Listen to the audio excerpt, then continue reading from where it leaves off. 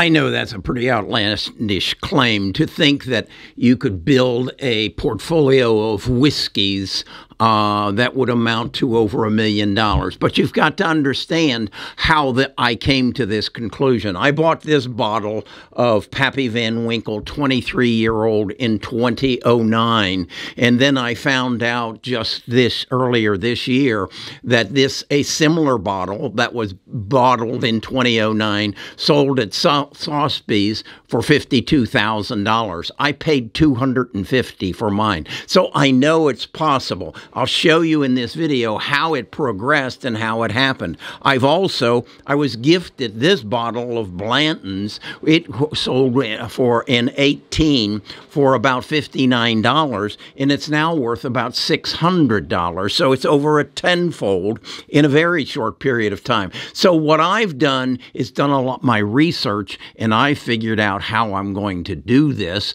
and I want to share it with you and possibly it's a lot of fun fun. Actually, it's a lot more fun than trading stocks or investing in stocks. So let's get deep into it and see if this is something that you're interested in. It's it has some other benefits as well. Best of Us Investors presents Kerry Grinkmeyer.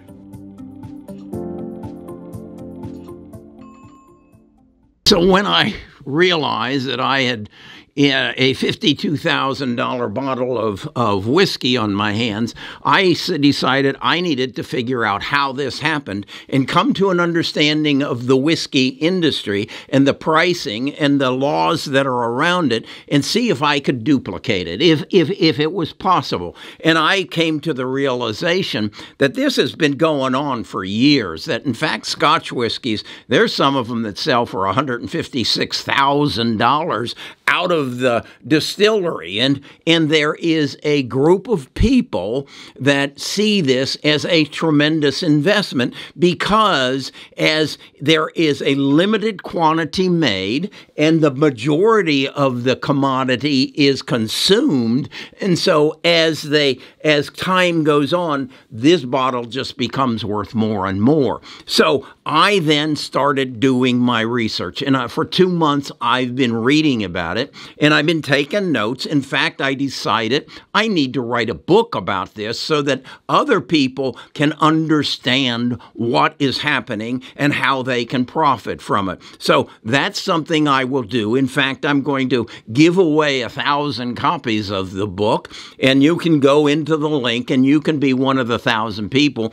because what I want to do is put it out there in ebook form and say if you're interested then you do some research and you shoot some holes into what I've what I'm projecting and what I'm writing about and then let's make a better book and then we'll publish it and it'll be available. So let's go back to how did this happen? As I said I bought the bottle in 2009 it was it was actually bottled in 2008. And here I've created a graph I, or a, a chart and and I tracked its history from $250 and what I think it actually happened is it grew at a rate from the some studies that I've done of about 35% per year. And then this auction blew it out of the water it wasn't worth uh, $52,000 the day before that auction. I am estimating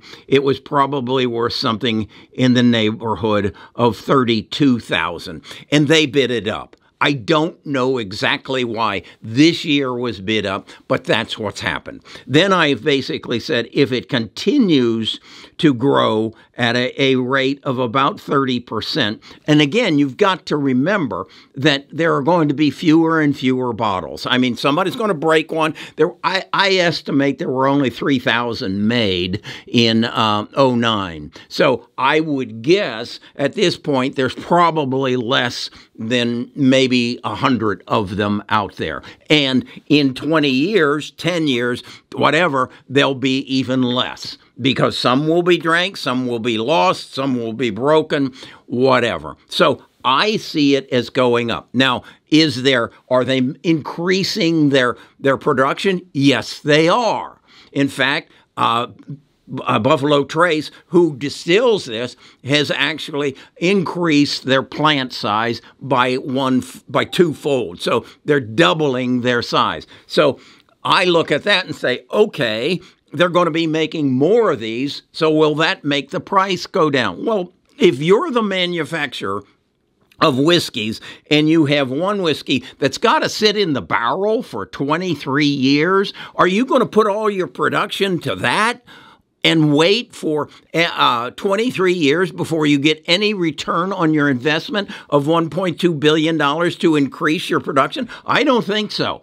I think you'll probably take that product that has to sit in the barrel the least amount of time and sells for $32 a bottle, and that is consumed in great uh, uh, quantity, and the and your markup is roughly the same in the 20 Pappy 23 as it is the Buffalo Trace four year I think I'll make more of that four year stuff and get my return on my investment. In fact, if I'm a stockholder, that's what I'll vote for. So I don't see, in fact, I see since they've they'll start in they will start increasing the production, that will only make my older bottle worth more as these new ones aren't as rare as the old ones, if you follow my logic. Okay, so that's what I did.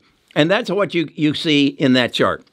Now, here is a chart I did on Blanton's. This is a 2016 bottle, and I believe, and, and based on the pricing that I've looked at, that it is, um, in fact, increasing at a rate of 30%. So this will turn into, by 2030, a $4,500 bottle that only costs um, somewhere around $89 on the uh, national scale, here in, in Alabama, it only costs 59. But I'm showing the national scale price. So that's kind of where I want. Now, how do I get this pricing information? I belong to a, a website that gives it to me. Let me show it to you on Pappy Van Winkle. This is a history of the pricing on Pappy Van Winkle 23 year old. And as you can see here, uh, if I go back to 2013, uh, the price in the store, average across the United States, was $388 a bottle.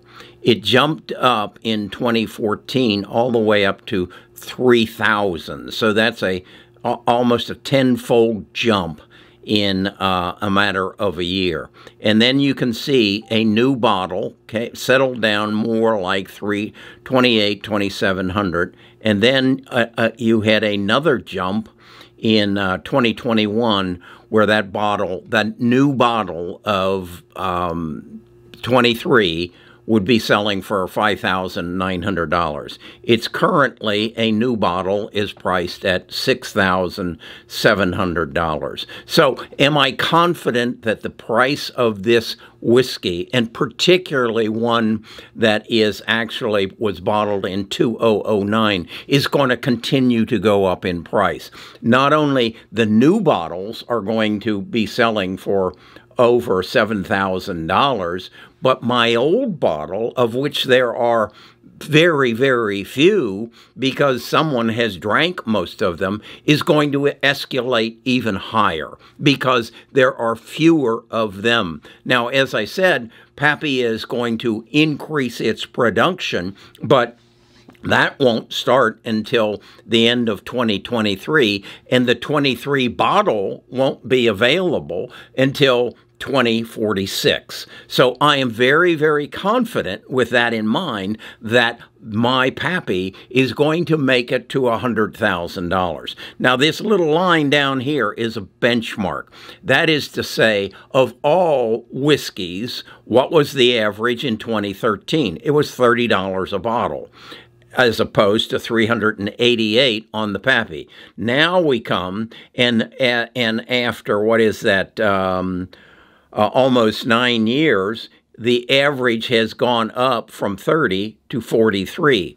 But my pap, the Pappy has gone from 388 to 6,775. So it's not all whiskeys that are going to help me get to my million dollar portfolio, I have to be selective. And I will use this data that I have found on winesearchers.com, and I do belong to their pro, or uh, I believe it's called pro um, group, so that I can see this data. This data is not available to most. So that's why I'm confident that my pappy will continue to be a big producer. My real task now is to find others that I can buy now that are going to duplicate what Pappy has done in the past uh, 13 years. And that's my goal.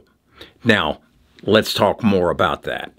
So that's how that all comes together. Now, what am I going to do is I have decided I am going to specialize on bourbon at least originally, to build my portfolio. And I've identified uh, 23 bourbons that I believe will have a uh, extraordinary escalation in price because of their situation, and then also because as being in a controlled state where the distributor or the the uh, distiller um, sells it to the state store. The state store puts its markup on it, and that markup is consistent, somewhere around 15 to 20 percent. Whereas, and so I can buy this bottle for $325. Okay.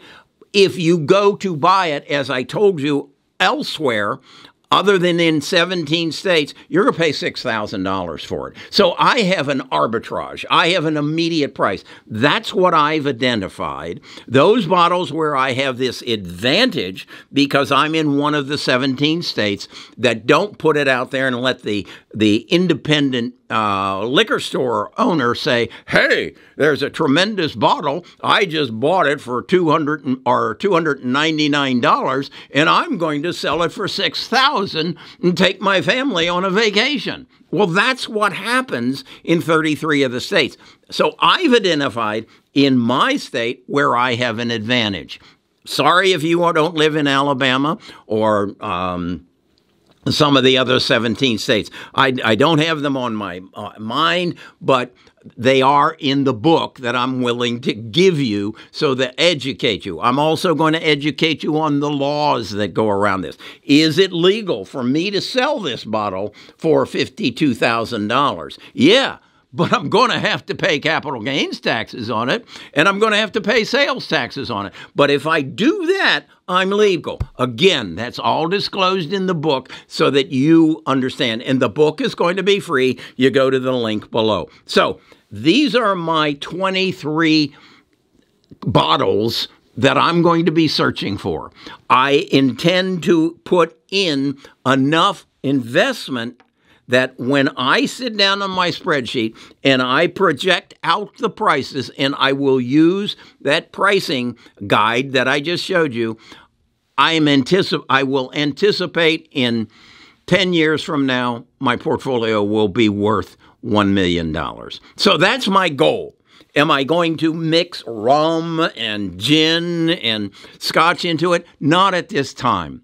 And that is a decision I've made that I've got to understand bourbons totally. Then, if I see an opportunity in scotch, I will possibly add that to my portfolio.